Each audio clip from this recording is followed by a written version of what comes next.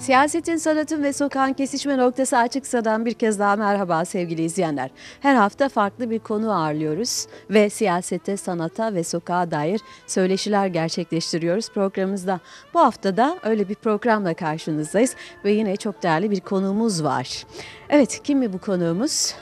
Çeşitli yazılarıyla, efendim eee, son dönemlerde özellikle sinema filmi eee, anahtarla ve çeşitli kitaplarıyla tanıdık bir isim Ferhat Atik. Yayın Yüksek Kurulu'nda da çalışmalarına devam ediyor uzun yıllardır ve bizleri nerede mi bekliyor? Özellikle şu kapı sanıyorum ki sevgili Ferhat Atik için çok önemli. Bir zamanlar sevgili nenesi bu evde yaşıyordu ve onun çocukluğu da bu mahallelerde geçti. Hangi bölgedeyiz? Arabahmet'teyiz sevgili izleyenler ve Ferhat Atik bizi bu noktada bekliyor. Sevgili Ferhat, seni şu köşeye aldık. Çok güzel Merhabalar. köşe Evet bu köşe suç işleyenlerin köşesi. tüm suçları bugüne kadar işlediğin tüm suçları konuşacağız seninle. Evet, evet, evet. özellikle de bu sokaklarda. Evet ninenin evi dedik. Ee, birazcık istersen ee, o dönemlerden başlayarak sohbetimize hemen bu noktadan başlayalım. Burada oturalım mı? Olabilir. Birazcık. Evet.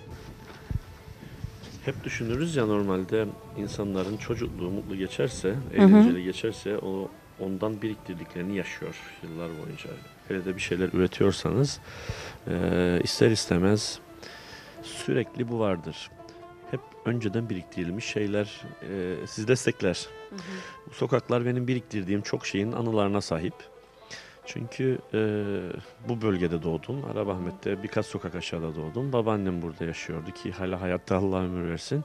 Bu evde oturuyordu bu sokakta ve benim için büyük bir eğlence, büyük bir keyifti bu sokaklara gelmek, buralarda olmak. Bir de eee, babaanne, anneanne gibi eee, büyükler bilirsin torunlar için çok vazgeçilmezdirler. Çünkü onlar eee, bizi bonus görürler ve her şeye evet derler.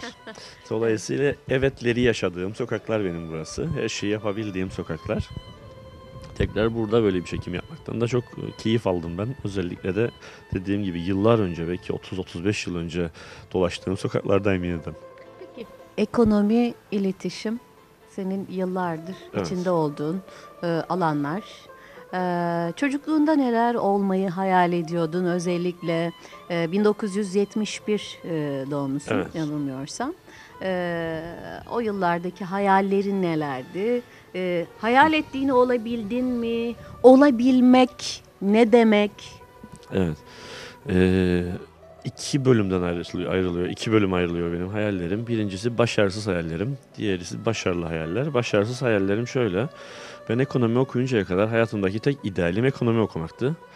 Mezun olunca ekonomist olmadım. Sadece ekonomi mezunu bir adam oldum. Ee, ancak o yıllarda tanıştığım medyayla e, ve yazım hayatıyla e, daha ilerlet, bunu daha ilerletmek ya da hayatımın devamını yazarak geçirmek gibi bir hayal kurmaya başladım. Giderek o netleşti. E, onu yapıyorum en azından ama dediğim gibi ilk hayal e, ekonomist olmaktı ama sadece mezunu oldum. Hiç o işi yapamadım. Yani onunla ilgili herhangi bir şey yapmadım. Ama iletişim alanında İletişim alanında özellikle yazın dünyasında e, hala çok hayalim var. İnşallah erişiriz ama en azından e, şunu söyleyebilirim ki hep yazarak yaşamayı hayal ettiğim dönemler vardı. E, şu anda yazarak yaşıyorum. Yazarak yaşayan adamı şöyle ninesinin kapısının önüne doğru alalım. Ee, bu kapılardan içeriye girdiğimiz zaman. Çok bulunmuyor bu arada ikili kapılar değil mi? Ee, Kıbrıs'ta benim ikinci kez gördüğüm ikili Evet. bir kapı Sanırım, hayatımda. sanırım bu e, bu bölgede de tek öyle hatırlıyorum ben. Yani başka bir yok, başka bir şey yok. Bir tanesi aşağıdaki daire için, diğeri yukarıya çıkılan. İsmini e, hatırlamadığım için çok üzgünüm ama e, o yıllarda e, babaannem kiracıydı ve evin sahipleri de e, kendisi Ankara'da yaşayan e, bir ressam hanımefendiydi. Eşiyle birlikte az gelir giderlerdi. Hatta e, babaanneme çizdiği bir yağlı boya tablo var. O hala bendedir. E, ismini hatırladım. Zehra, Zehra ablamızdı. Çok güzel resimleri vardı. Bir tanesi evimde. Ninen şimdi nerede yaşıyor? Bizlerle birlikte. Sizlerle birlikte yaşıyor. Peki bu bölgelerde e, neler değişti süreç içerisinde neler gözlemliyorsun? E, neler gözüne batıyor? Neler seni sevindiriyor e, özellikle bu bölgeyle ilgili ya da var mıdır sevindiren bir şeyler? Neler değişmedi ki demek lazım aslında. Yani o kadar çok Peki şey öyle değişti ki. diyelim. E, Değişti, değişenleri saymak neredeyse e, herhalde zamana sığmaz. En önemlisi tabii iç kültür değişti. Çünkü burada bir toplumun genelini yansıtan bir genel kültürümüz var. Her evin içinde yer alan. Bir de özellikle Arabahmet'in kendi iç kültürü var. Çünkü e, Arabahmet yolların bittiği bir mahalle. E, bilirsin ülkemizin e, birçok yolu biten yollar, devam olmayan yollar. E, Lef, özellikle de Lefkoşa'da, bölünmüş Lefkoşa'da. Bu nedenle Arabahmet de yolları biten bir e, mahalle. Peki çıkmaz bir yol mudur? E, çıkmaz mı yol mudur? E, dolaylı olarak etrafından çıkmaya başladı ama ne kadar çıkıp çıkmadığı da tartışılır aslında siyaseten.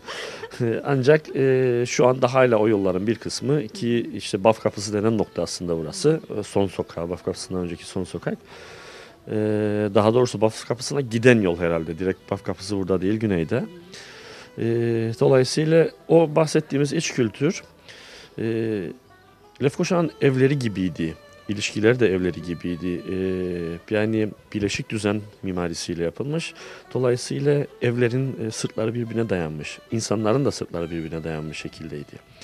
Ve e, ondan sonra her birimiz e, şehir dışlarına Lefkoşa'ya ihanet ederek yine Lefkoşalı olarak e, müstakil evlere e, geçerken aslında ilişkilerimiz de müstakilleşmeye başladı. Ya da apartmanlara geçerken ilişkilerimiz sınıflandırılmaya başladı gibi e, temel e, kültürel değişimler var elbette bu bölgede.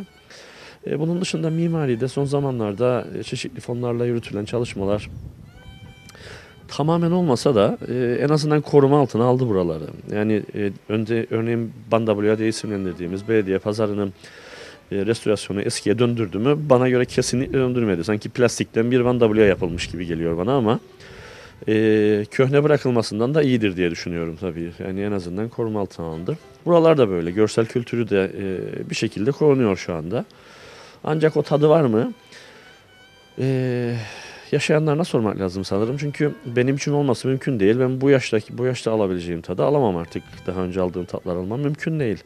O yüzden e, çok da cevaplayabileceğimi düşünmem. Yani buraların yeni e, yaşayışlarına, yeni yaşayanlarına, yani yeni çocuklarına sormak lazım. Bu sokaklarda neler yapıyorlar? Ki eminim onlar da haz alıyorlardır bu sokaklarda. Evet, özellikle bir bölge. Şöyle yürüyerek devam edelim. Ee, hem çan sesini hem ezan sesini birlikte e, duyarak e, büyüdün e, sen özellikle bu mahallelerde. Az önce e, söylediğin sözcüklerin arasında özellikle evlerin birbirine yaslandığından, Evet. sırtını dayadığından bahsettim ve keza insanlar da o dönem öyleydi ama ne zaman ki e, eski surlar içi Lefkoşa'sından insanlar e, daha özgür alanlara doğru, belki apartmanlara, belki villalara Evet. taşınmaya başladıkları dönemden itibaren bir değişim başladı ve bu değişim rüzgarını zaman zaman hepimiz eleştiriyoruz. Ee, ama özellikle surlar içi Lefkoşa'sını terk edenler şöyle bir kendi, kendilerini de yoklamalılar diye düşünüyorum. Ee, çünkü sadece sonradan gelen insanlar mı kabahatli? O evleri işte e, kullanılamaz duruma getiren acaba onlar mı yoksa bizim vefasızlığımız ve ilgisizliğimiz mi?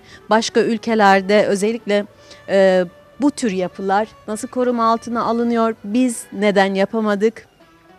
Başarısız olduk. Tüm bunları nasıl yorumlamak gerekiyor? Sen nasıl yorumluyorsun? Aslında e, bir suç aramak mı diye sorguladım cümleleri seni kurarken. Çünkü zaman böyle bir şey. Yani zaman üzerinde yaşayan coğrafyada kimlerin yaşadığına bakmayan, ezip geçen bir süreç. Dolayısıyla dünyanın her yerinde böyle değişimler var. Yani şimdi sorsanız Londra'da kaç Londralı yaşıyor? İstanbul'da kaç İstanbullu var? New Yorklu birine sorarsanız ben işte sandalyemi bir kapıya dayarım giderim diyebilecek kadar eskisi olmasa da var böyle şeyler. Yani sadece bizde değil kozmopolitizm diye bir şey var artık ve insanlar her yerde. Ama mesele gidilen yerin kuralları olması. Bizde yaşanan sıkıntı sanırım bu. Ee, dışarıdan elbette göç alıyoruz ülkeye doğru. Ee, her ülkenin aldığı gibi aslında. Fakat buranın kuralları yerleşmiş, buranın sistemi oturmuş olsa gelen insanlar buraya göre yaşayacaklar. ve e, binaları, kültürleri, yapım, e, yaşamları da yakın olacak bizlere. Daha yaklaşacağız aslında ama e, o kuralları oturtamamaktır esas e, sıkıntı. Kimler oturtamıyor o kuralları? Peki yürüyerek devam edelim mi? E, kimler oturtamıyor? E, tabii birincisi kuralı yazanlar yani yasama. Çünkü sadece bir yasanın, bir kuralın, bir em, kanaat sonrasında oluşup da insanların önüne sunulması değil, bunların uygulaması da var. İkinci sırada halk geliyor. Yani şimdi bu röportajı e, Girne Caddesi dediğimiz Lefkoşa'nın merkezi bir sokağında, bir caddesinde yapacak olsaydık kaldırımda yürüyemezdik araba park etme nedeniyle. Oysa orada da araba park etmek yasak. Ama yani birkaç gün önce orada başka bir çekim için bulunduğum için gözlemledim. Onlarca araç duruyor. Bir kuralsızlık aslında. Kural yok mu? Var. Uygulama yok. Denetim yok dolayısıyla bu noktada birazcık Denetim de daha. sınırlı yapılıyor. Yani belediye yapıyor vesaire ama e, baktığımız zaman demek ki e, bu basit şeyler bile çözülemediyse e, bir sıkıntı var demektir. Yani ya kontrolde bir sıkıntı var ya e, uygulamayan da bir sıkıntı var. Çünkü işte çevre kirli diyoruz ama e, kim kirletiyor sorusunu kendimize sormuyoruz. E, bunun gibi şeyler. Şimdi bu zamanın getirdiği değişimde dedim ya suçlu aramak değil. e, bu kültürler her ülkede artık böyle. Yani ben işte e, kimse gelmesin, ben bir yere gitmeyeyim gibi bir e, zihniyeti kabul edemem. Yani çok doğru gelmiyor bana böyle bir düşünce. Herkes her yerde olacak, kaçar yoktur bunun. Mesele e, yerleşilen coğrafyanın kuralları olması ve o kuralların da e, toplumu daha ileriye götürebilecek kadar güçlü olması. Modern düşünceler, e, çağdaş yönetimler artık böyle. Ee, elbette ki tüm bu söylediklerinin içinde idealist olabilme fikri de yatıyordur. Ee, yani e, düşündüklerimiz başka, yaptıklarımız başka olabiliyor zaman zaman ve e, ne yazık ki ülkemizde de e, idealist görünümlü siyasiler var ki sen de bu idealist görünümlü siyasetçilerimizden zaman zaman köşe yazılarında bahsediyorsun. Nedir bu idealist görünümlü siyasilerin özellikleri? Neden idealist görünüyorlar senin gözünde?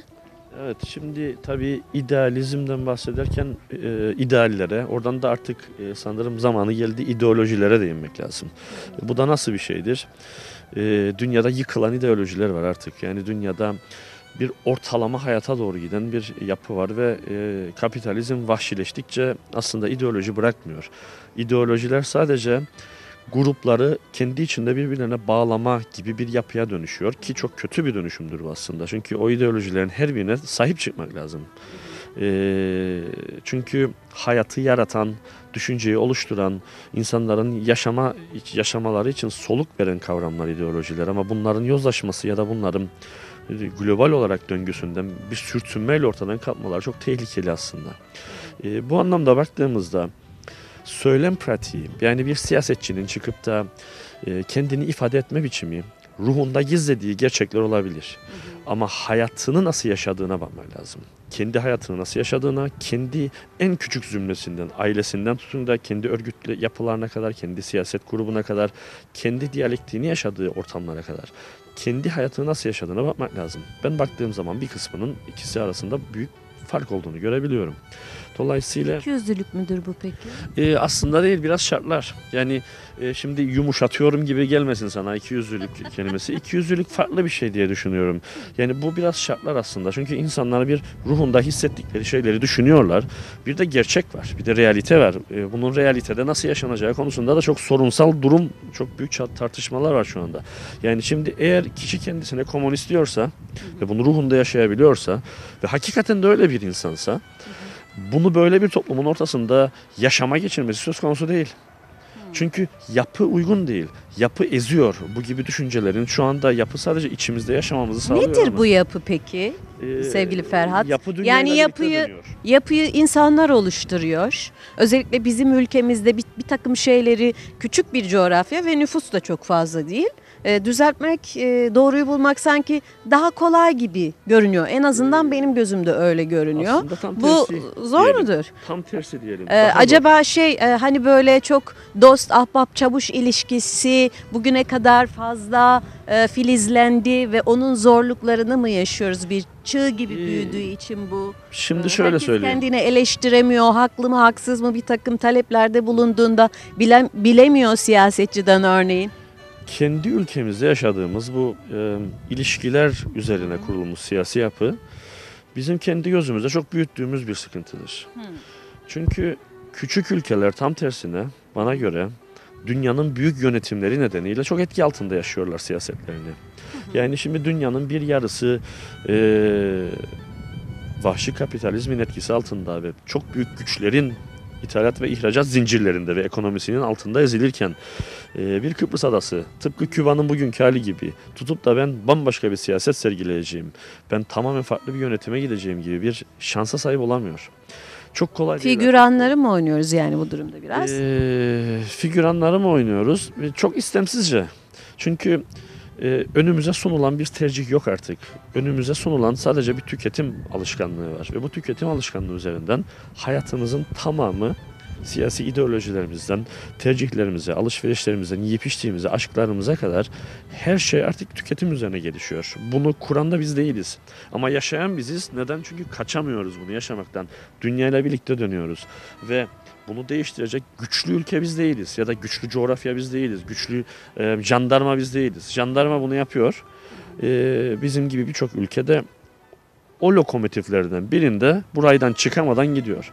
Yani bizim yaşadığımız bu. Ha kendi ülke içinde e, az önce bahsettiğimiz küçük olmanın getirdiği dezavantajlar, avantajlar da var ama dezavantajlar e, bana göre kendi gözümüzde çok büyüttüğümüz dezavantajlar bunlar. Bunlar çözülebilir şeyler. Yani bunlar çok büyütüldü gözümüzde. Sanki her şeyi bozan bunlarmış gibi. Ama öyle değil. Onlar da var tabii. Ama esas etken o değil. Bana göre esas etken e, dünyanın döngüsü içinde biz de o çarkın dişlileri arasında yer almamız. Küçük bir dişliyiz ve biraz ezilerek, biraz sevinerek, biraz sevdirilerek e, o çarkın içinde dönüyoruz aslında. Yoksa e, küçük ülkeler için değişim yaşamak bir takım sorunlar çözme anlamında çok kolay ama e, global etkilerden korunmak anlamında mümkün değil. Peki bu çarkın dişleri arasında acaba bir toplumun duruşu nasıl olmalı? Tüm bunları da konuşacağız sevgili Ferhat Atik'le ama az sonra bizlerden ayrılmayın. Yeni bir ülke bulamazsın Başka bir deniz bulamazsın Yeni bir ülke bulamazsın Başka bir deniz bulamazsın. Bu şehir arkandan gelecektir. Sen yine aynı sokakta dolaşacaksın. Bu şehir arkandan gelecektir. Sen yine aynı sokakta dolaşacaksın Aynı mahallede kocayacaksın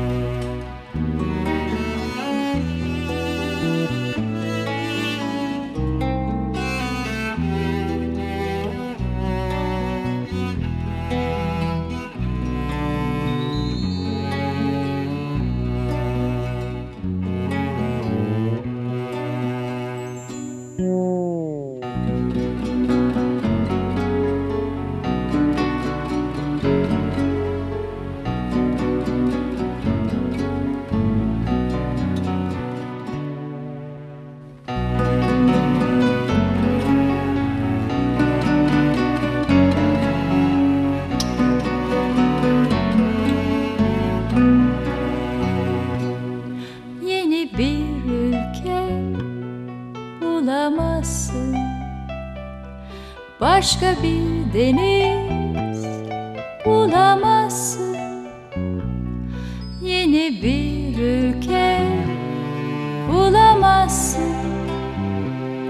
Başka bir deniz bulamazsın. Bu şehir arkandan gelecektir. Aynı evde kır düşecek saçlarına Dönüp dolaşıp bu şehre. Geleceksin, geleceksin bu şehre sonunda. Başka bir şeyim var, başka şeyim var. Dönüp dolaşıp bu şehre. Geleceksin, geleceksin bu şehre sonunda Başka bir şeyim var, başka şeyim var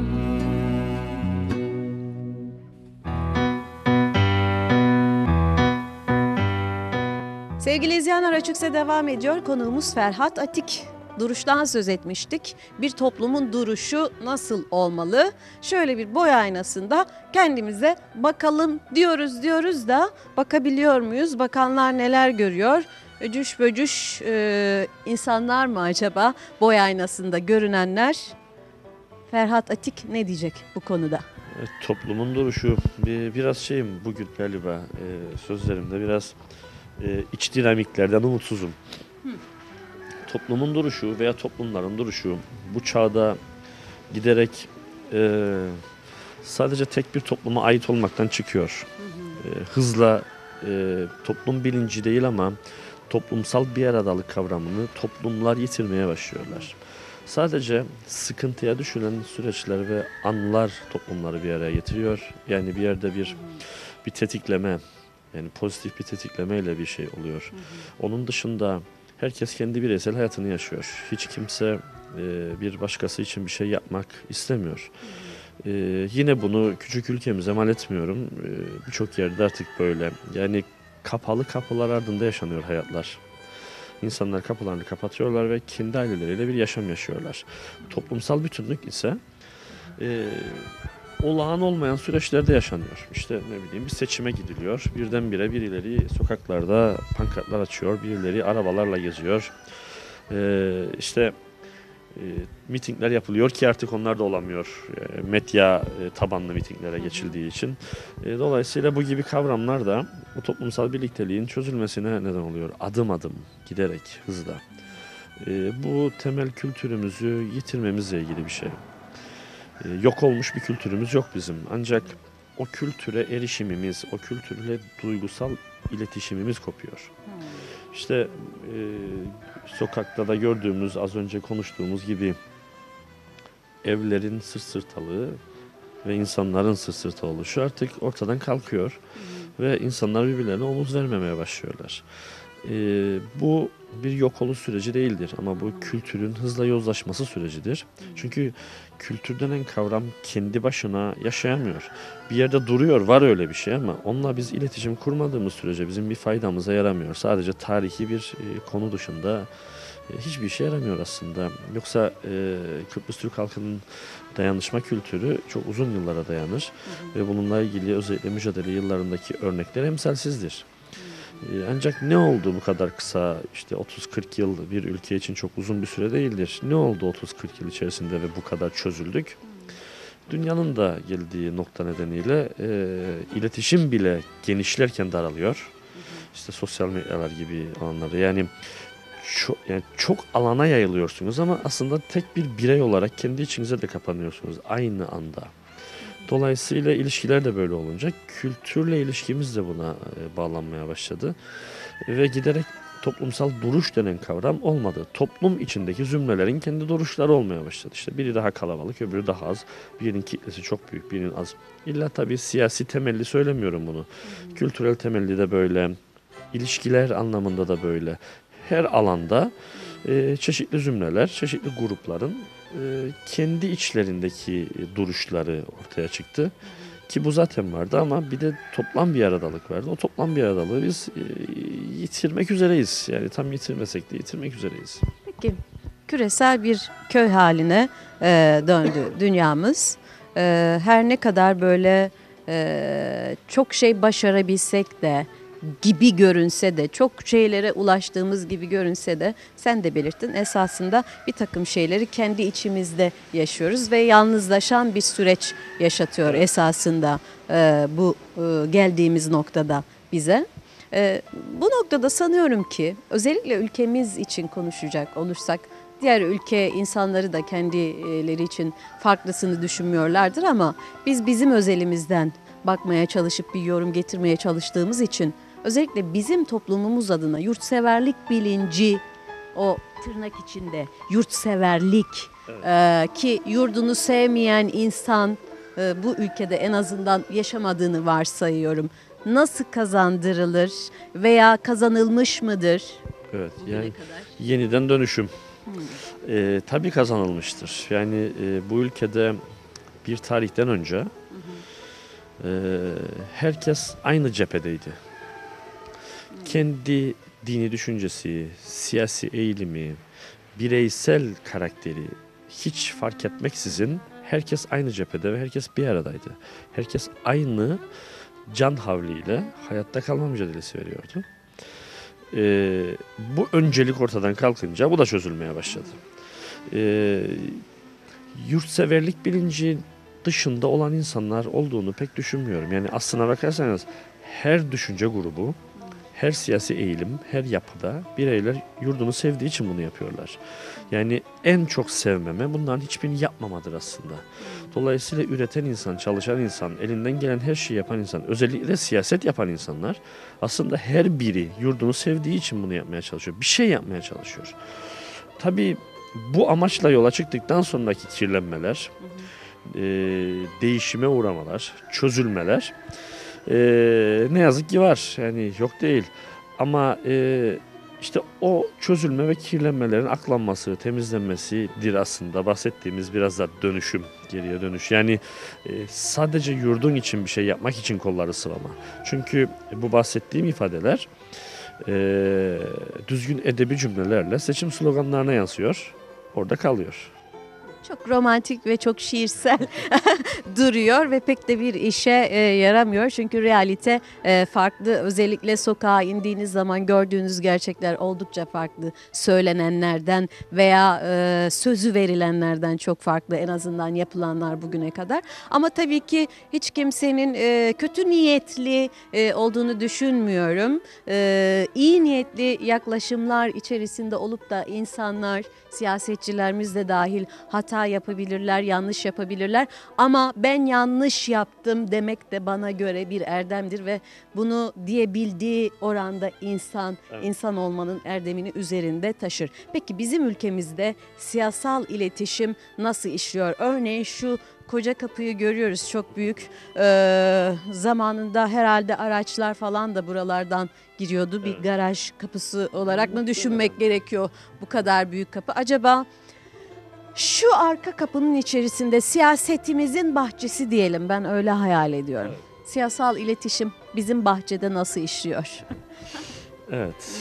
görüyorsun? Şimdi iletişimin kaynağı ve iletişimin hedefi arasında bildiğimiz gibi medya var. Evet. Dolayısıyla hangi alanda olursa olsun bu iletişimin içinde taraflar yer alıyor. Yani bir aktarıcı taraf, bir onu alacak taraf, bir de esas nereden geldiğine bakacağımız nokta, başlangıç noktası. Çok karmaşık gibi gelebilir iletişimin içinden gelmeyen insanlara bu ifadeler ama aslında şu kadar basittir. Siyaset bir iletişim sanatıdır. Ve iletişim de siyasetten güçlü bir alternatiftir. Çünkü iletişimini yitirmiş hiçbir siyaset başarıya ulaşamaz.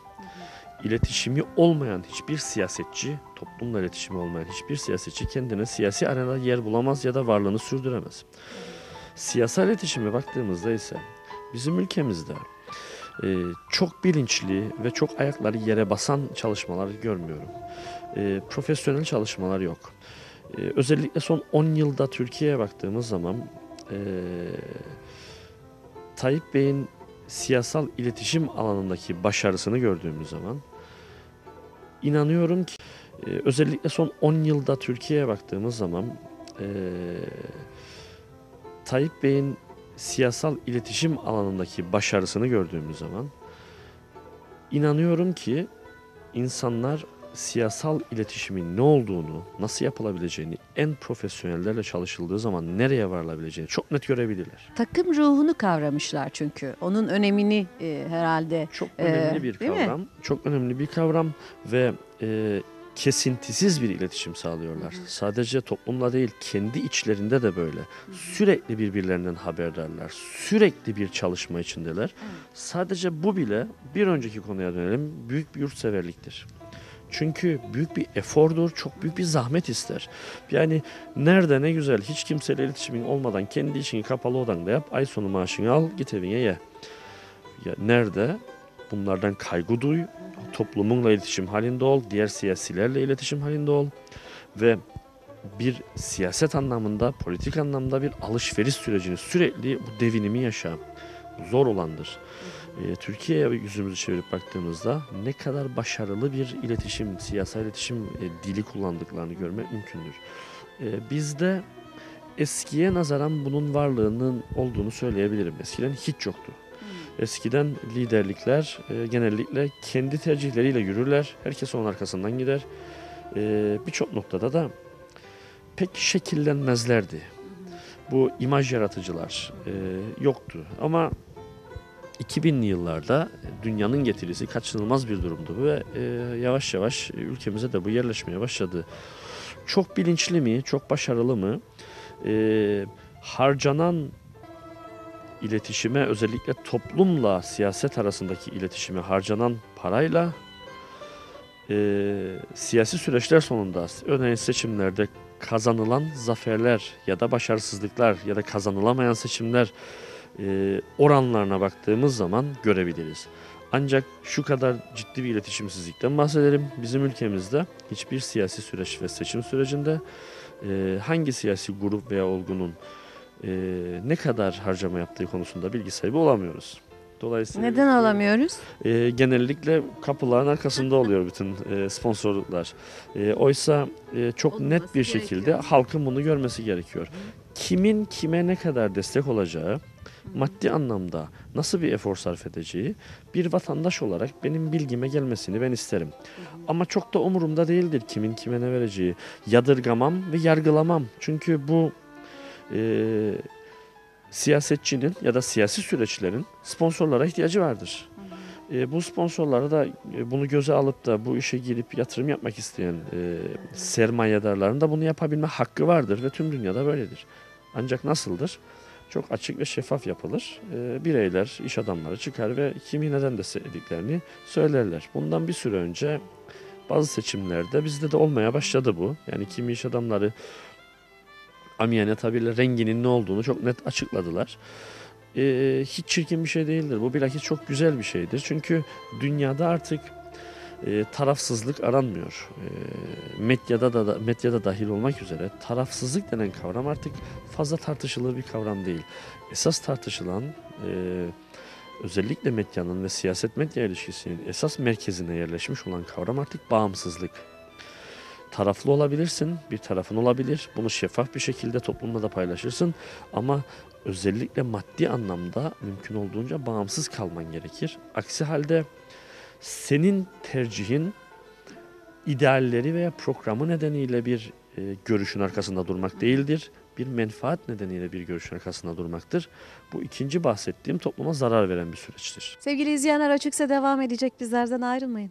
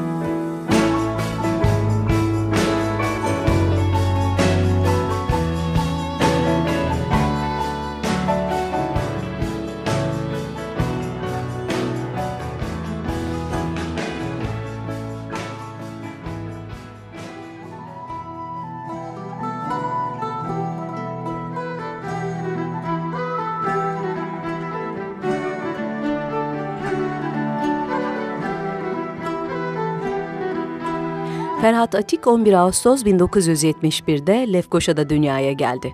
Arabahmet İlkokulu, Şehit Hüseyin Rusu Ortaokulu ve Lefkoşa Türk Lisesi'nde ilk ve orta eğitimini tamamladı. Ekonomi, iletişim ve sinema alanında yurt içi ve yurt dışında lisans, yüksek lisans ve doktora eğitimleri aldı. Yurt içi ve yurt dışındaki çeşitli gazete ve dergilerde kendisine birçok ödül de kazandıran 5000 aşkın makalesi yayımlandı.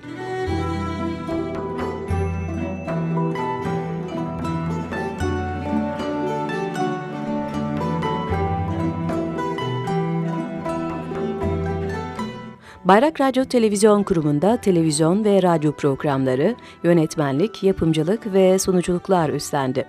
Birçok sivil toplum örgütünde kurucu ve yönetim kurulu üyeliklerinde bulundu.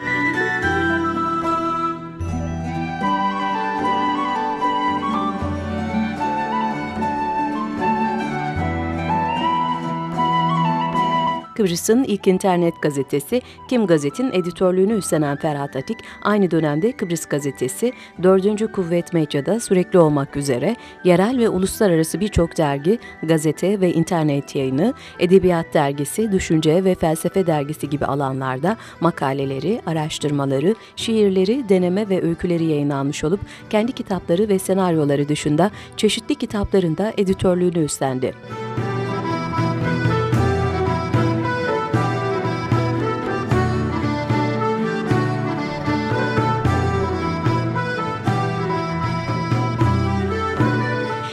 Kitabı İpek Yolu isimli deneme ve şiir türündeki kitabıdır. 1997 ve 2001 yıllarında çift baskı olarak yayımlandı.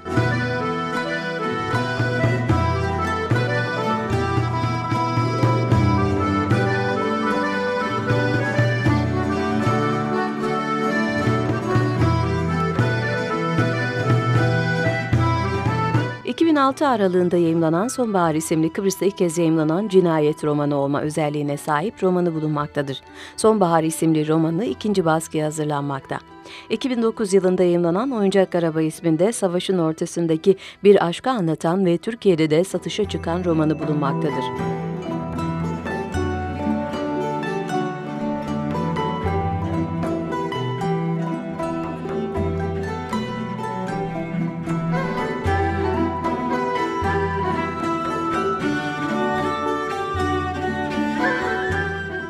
Kuzey Kıbrıs Türk Cumhuriyeti Yayın Yüksek Kurulu'nun kuruluşundan bu yana koordinatörlük görevini Günlük Betik Gazetesi ve Star Kıbrıs Gazetesi'ndeki yazılarının ardından Haberdar Gazetesi'nde ve sosyal medyada günlük köşe yazarlığını sürdürmektedir. Ferhat Atin kısa filmleri ve senaryoları yanında Seher Vakti ve romanından kaleme aldı Oyuncak Araba dizi senaryoları ve Sonbahar romanından kurgulanmış uzun metraj film senaryosu bulunmaktadır. Atin ayrıca Eylül 2011'de okuyucuyla buluşan ve 14 yıl aradan sonra yazdığı Çifte Liman adlı şiir kitabı bulunmaktadır.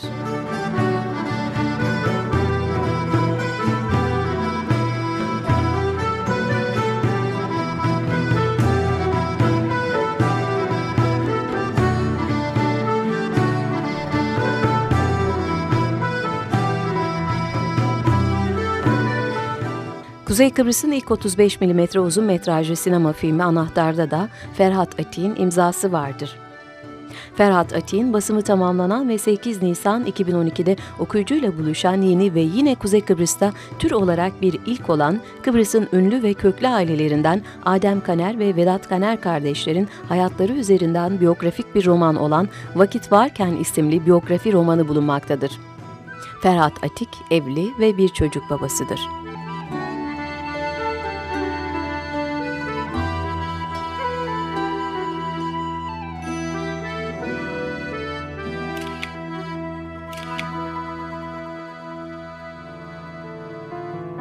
Sevgili izleyenler söyleşimiz devam ediyor. Ferhat Atik'le birlikteyiz. Evet sevgili Ferhat, iktidar edenle medyanın ilişkisi nasıl olmalı? Yayın Yüksek Kurulu'ndasın uzun yıllardır.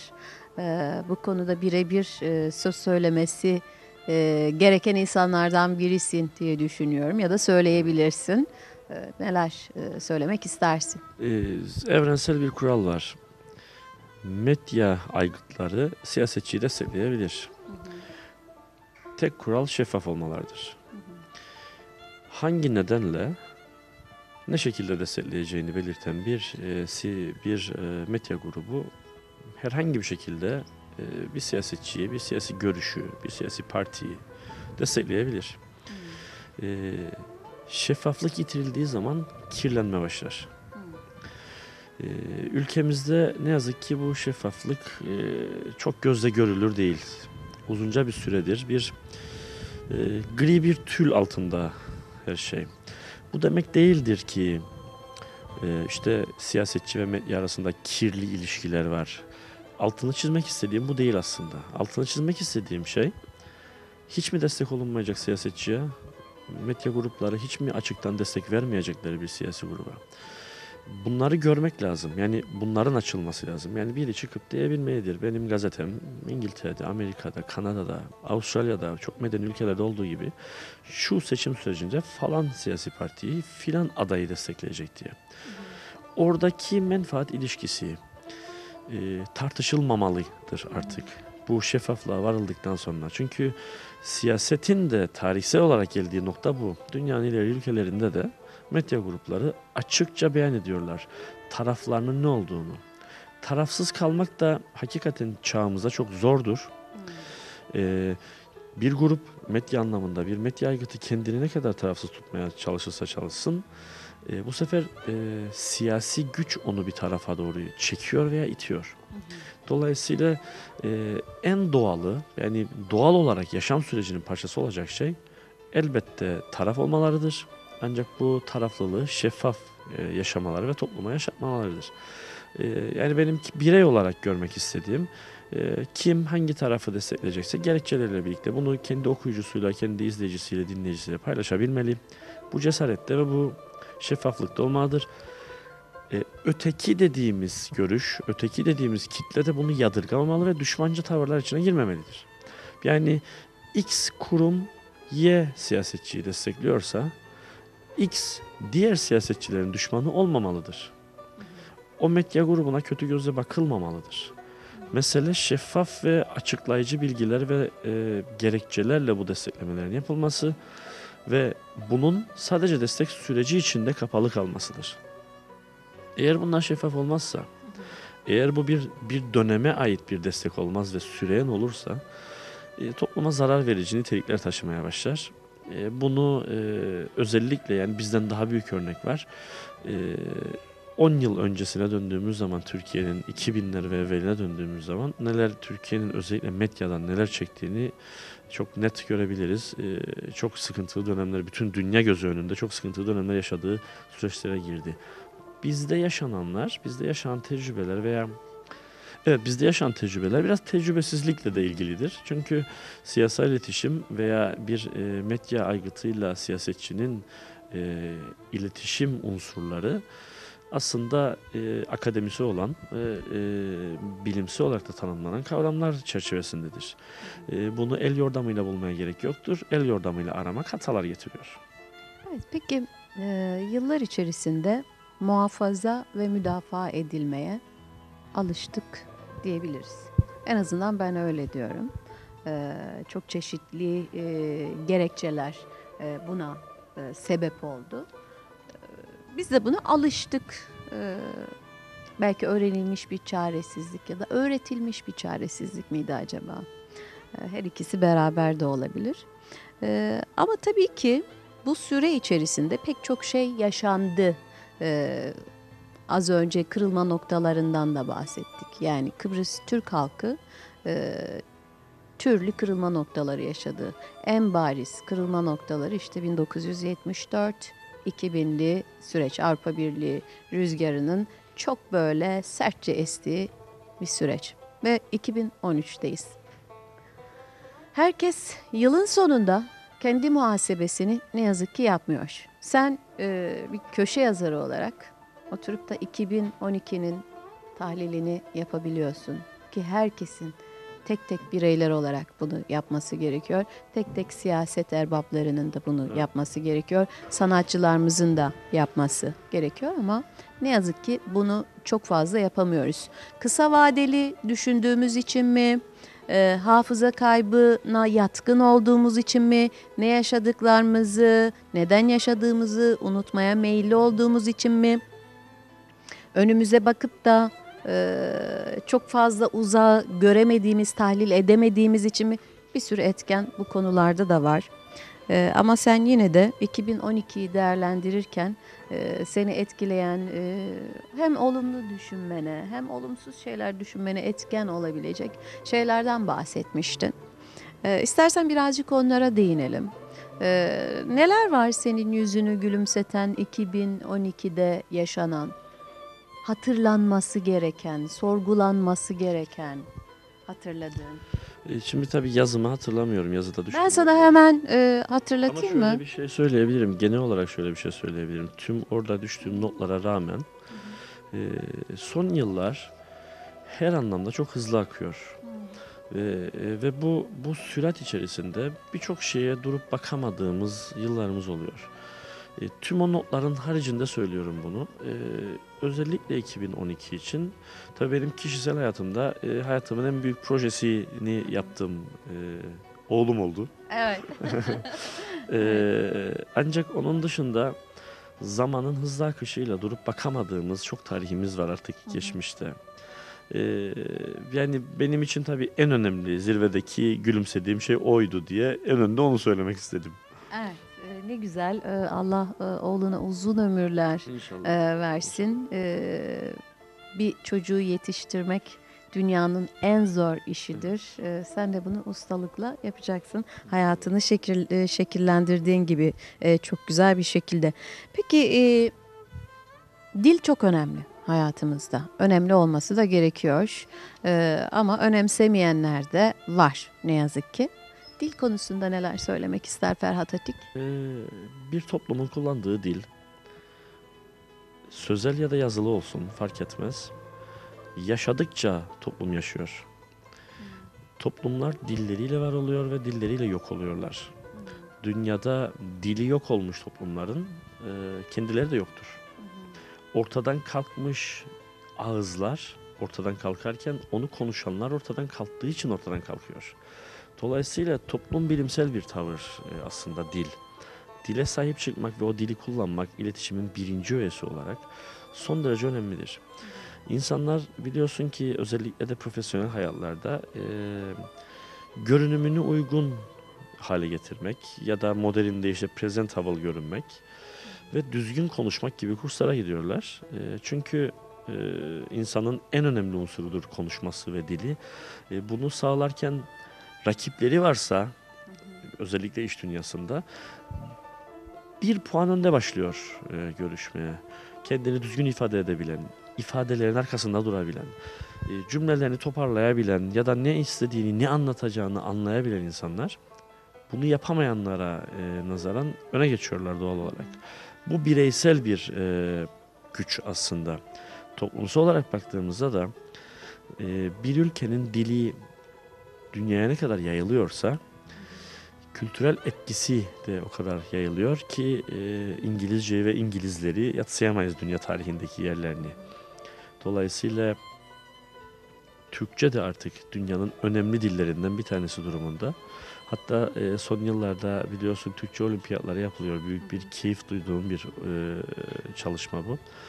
Çünkü aslında bir bir yarışma gibi e, gösterilmiş ama aslında bir entelektüel bir çalışma bu. E, bir dili dünyanın başka ülkelerine yansıtabilmek için çalışa- çalışmak ve bunun için çeşitli argümanlar geliştirmek e, entelektüel bir çalışmadır. E, bizim ülkemiz açısından da Kıbrıs ağzı kavramı uzun süre tartışıldı.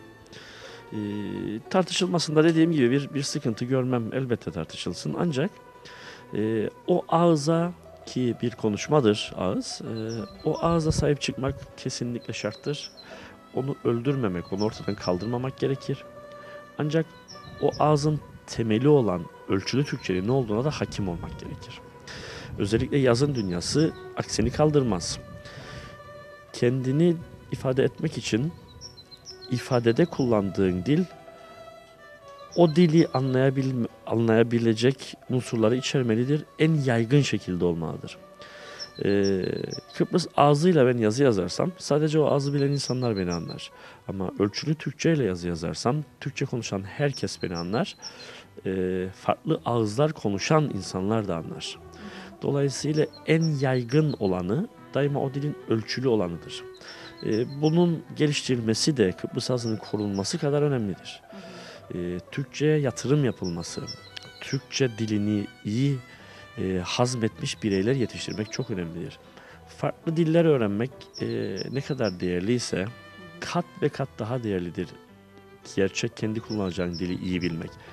Ancak e, günlük sohbetlerde kullandığımız 150 kelimeden bahsetmiyorum tabii. Hakkını vere vere tüm dil bilgisi kurallarıyla tam anlamıyla bir dile hakim olmak gerekir.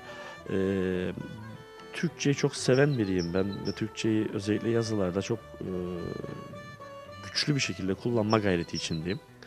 Ama sadece bir yolculuk halindeyim. Ve daha öğrenemediğim çok şey var. Yani Türkçe çok güçlü, çok e, muazzam bir dil. E, ve bunu iyi öğrenmek gerekiyor. E, hele eğer ürettiğimiz bu dil üzerine bir şeyse e, bunu bilmemiz şart. E, bu dilin yörüngesinde bir ülkede yaşıyorsak buna hakim olmamız gerekiyor. Aksi halde hayata eksi başlıyoruz. Evet insanın e, çok sevdiği, çok yakından tanıdığı e, bir isimle program yapması e, bir o kadar keyifli, bir o kadar da heyecan verici sevgili izleyenler. Ferhat Atik de o isimlerden birisi. Çok sevdiğim, saygı duyduğum bir isim sevgili Ferhat. Üretmeye e, devam ediyor. Kendisini tanıdığım günden itibaren hiç durmadan soluksuz üreten ender isimlerden birisidir. E, ne mutlu kendisine. E, sevgili oğlu da onun izinde e, gidecek e, büyüdüğü zaman e, diye düşünüyorum. Peki e, sevgili Ferhat, e, önümüzdeki e, dönemler için e, projelerin mutlaka vardır. E, ajandana not aldığın şeyler vardır hayata geçireceğin klasik tabirle ajandaya not edilir ya. Senin ajandanda neler var? Evet, e, 2013 1 Ocağı'ndan beri öncelikle artık dijital ajandaya geçtim. Geleneksel ajandalarımı kapattım artık her yıl tuttuğum. E, 2013 yılında e, çok farklı bir proje başlattık. E, çekimlerine başladığım bir belgesel işimiz var. E, çok farklı bir belgesel. Bu konseptin tamamını bir araya getirmiş. Dünyada benzer bir e, belgesel yok. Bir vizyon belgeseli. E, ismi Geleceğe Mektuplar. E, belgeselin yapım ortağı Girne Amerikan Üniversitesi e, sevgili Serhat Akpınar. Yapım ortaklığını yürütüyor e, ve e, PR ve benzeri tüm işlevleri de sağ olsun kendileri sağlıyorlar. 25 seçilmiş kişiyle 25 konuda kendi alanlarında ve 25 tarihi mekanda e, çekim yapıyoruz. Çekimlerimiz başladı yaklaşık işte 2 aydır devam ediyor. Ve hatta 3 ay oldu devam ediyor. Çok uzun soluklu bir şey. Ve bu bahsettiğim e, 25 konu önümüzde gelecek olan 25 seneyle ilgili hayallerimiz, beklentilerimiz, projeksiyonlarımız, neler olacağını düşündüğümüz öngörülerimiz. Herkes kendi alanında bu e, konuyu bize aktarıyor. Projenin e, içinde farklı olan en farklı en çarpıcı yanı e, söz konusu belgesel 25 yıl sonra yayınlanacak. Yani çeyrek yüzyıl çeyrek yüzyıl boyunca belgesel saklanacak. Yine bu saklamayı Girne Amerikan Üniversitesi üstleniyor ve gelecek 25 yıl boyunca bu belgeselden e, tanıtım teaserleri dışında hiçbir görüntü yer almayacak E, ve tüm bu görüşler ki içinde çok duygusal anların da yaşandığı, çok duygusal çalışmaların da olduğu tüm Tüm bu görüşler e, geleceğe saklanıyor. Bu nedenle projemizin ismi Geleceğe Mektuplar. Kaç yaşında olacaksın sevgili Ferhat? 2038, şimdi 42 yaşındayım. 62-67 yaşında olurum inşallah, kısmet. Sözleşmeyi biz o tarihe imzaladık. Ee, sevgili Ferhat'a Allah uzun ömür versin. Ee, o tarihi değişecek, onu kat be kat geçecek. İnşallah ya da bırakacağız, ya da bırakacağız. Diyorum ya hepsi Azrail'e inat. Dolayısıyla e, çok sorun değil o tarafı. Biz üretelim de ne olursa olsun geleceğe de e, bir şeyler bırakabilmek e, çok önemli. İyi şeyler bırakabilmek. Senin de tüm çaban bu yönde oldu seni tanıdığımdan İnşallah. beri. İnşallah. İnşallah yani yani bıraktığımız şeyler, e, bırakmaya çalıştığımız şeylerin üzerine daha da konur. Ve e, anlatmaya çalıştığımız gün gelir anlaşılır. E, derdimiz dinlenilir çünkü üreten insanların ya da sanatçı denen insanların aslında bir derdi var. Söylemek istediği şeyler var. Toplumu adına sadece birisi olarak değil e, bir şey söylemeye çalışır ve bunu çeşitli metotlarla yapar. Kimi tiyatro eserinde oynar, kimi resim çizer, kimi beste yapar, kimi roman yazar. Ama derdi bir şey söylemektir. E, işte bu söylediklerimizin kalıcı olmasını dileriz. Tek e, dileği de budur genelde sanat üreten insanların. Evet sevgili izleyenler, bir sokağın ortasındayız sevgili Ferhat'la birlikte. Ee, bir yolun da ortasındayız. Sağımıza giden de bir yol var, solumuza giden de bir yol var. Ortada kalmak, kararsız olmak en kötü şeydir hayatta. Bir süreliğine duralım, şöyle bir kendimizi, etrafımızı, yaşadıklarımızı, ne yaşamak istediğimizi sorgulayalım. Ama ne olursa olsun kararımızı verelim. Biz de karar verdik bugün buluşacağız diye. Burada buluştuk, sohbetimizi gerçekleştirdik. Sana çok teşekkür ediyorum. Kararsız kalmayalım. Hayatımızı ne olursa olsun sorgulayalım ve tercihlerimizi de ona göre yapalım. Ya sağa, sağa gideceğiz ya sola gideceğiz. Bu kadar basittir aslında hayat ama karar verirsek. Çok teşekkür ediyorum. Ben de teşekkür ederim. Sana Çok e, teşekkürler. başarılar diliyorum. E, tekrardan yeni projelerde görüşmek İnşallah, üzere. inşallah. Evet sevgili izleyenler Açık Senin yeniden sonundayız. Haftaya bir başka konukla yeniden sizlerin karşısında olacağız. O güne dek kendinize her zaman olduğu gibi bildiğiniz gibi bakın ama ne olursa olsun kararsız kalmayın. Hoşçakalın.